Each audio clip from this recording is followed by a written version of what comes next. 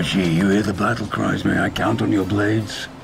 You brought the fight to my doorstep. I have no choice but to resume the lopping of heads, drinking of blood, and liberating of souls. That is, if I can swap my weekend shift with Arjun.